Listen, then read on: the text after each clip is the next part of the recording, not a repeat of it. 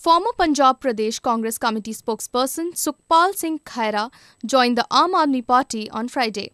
The main reason for Khaira's exit is assumed to be the disappointment in Congress President Sonia Gandhi's recent appointments of Captain Amarinder Singh, Ambika Soni, and Lal Singh to new positions in the party.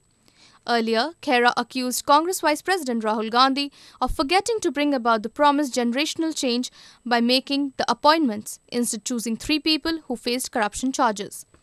Correspondent Naveen from Chandigarh for ANI.